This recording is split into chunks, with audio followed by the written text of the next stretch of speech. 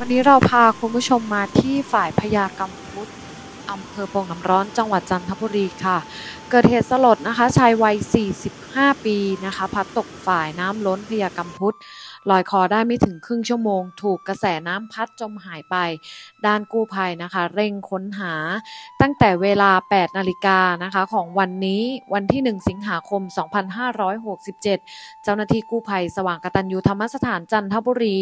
นำชุดกู้ภัยทางน้ำกว่า 30 นายนะคะ ลงพื้นที่บ้านพญากำพุทธตำบลโป่งน้ำร้อนอำเภอโป่งน้ำร้อนจังหวัดจันทบุรีค่ะ หลังได้รับแจ้งจากชาวบ้านนะคะ ว่ามีชายตกฝ่ายน้ำล้น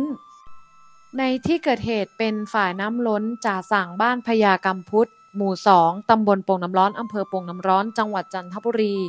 ซึ่งนายประพิษยานปัญญา นายอำเภอโป่งน้ำร้อน เปิดเผยว่า เหตุการณ์เมื่อวันที่ 31 กรกฎาคม 2567 เวลาประมาณ 11 นาฬิกา ทราบชื่อผู้สูญหายคือนายกันชนน หรือนายโคกอายุ 45 ปี อยู่บ้านเลขที่ 88 ทับ 2 หมู่ 2 ตำบลโป่งน้ำร้อน อำเภอโป่งน้ำร้อน จังหวัดจันทบุรี มีอาการป่วยกล้ามเนื้ออ่อนแรงที่ขาทั้งสองข้าง ซึ่งขณะเกิดเหตุได้เดินทางไปใกล้เคียงกับฝ่ายน้ำล้นดังกล่าว ห่างจากบ้านพักเพียงเล็กน้อย และได้พัดตกลงไปในฝาย จึงลอยคอมาเกาะตลิ่งบริเวณ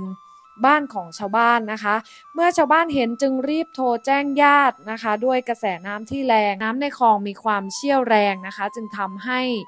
ร่างของนายโคกเนี่ยไปตามกระแสน้ำตามคลองนะคะ จนจมหายไปท่านนายอำเภอนะคะ จึงได้สั่งการให้เจ้าหน้าที่ฝ่ายปกครองท้องถิ่น แล้วก็กู้ภัยทหารอสและจิตอาสานะคะ ช่วยกันค้นหา เนื่องจากสภาพน้ำในลำคลองไหลแรงมาก จึงไม่สามารถนำเรือของชุดประดาน้ำลงไปค้นหาในลำคลองได้ การค้นหานะคะทำได้เพียงแค่เฝ้าสังเกตการ์แล้วก็ใช้โดรนบิน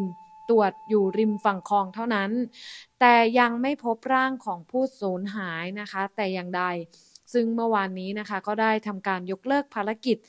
ตอน 17นาฬิกา อย่างไรก็ตามนะคะ เจ้าหน้าที่ทุกฝ่ายยังคงเดินหน้าค้นหาผู้สูญหายอย่างต่อเนื่อง ซึ่งวันนี้เองก็มีการค้นหาอย่างต่อเนื่องเช่นกันนะคะ เจ้าหน้าที่ทุกฝ่าย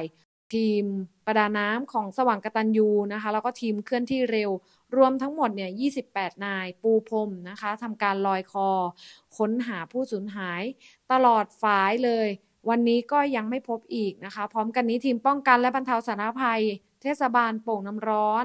ได้นำเลื่อยยนต์พร้อมเครื่องจักรเนี่ยมาตัดกิ่งไม้ที่ขวางทางน้ำไหล เพื่อเร่งระบายน้ำโดยเร็ว หลังจากน้ำลดแล้วเนี่ยอาจจะค้นพบได้โดยเร็วนะคะ ฝ่ายนี้เป็นฝ่ายที่เป็นฝ่ายเดียวกับที่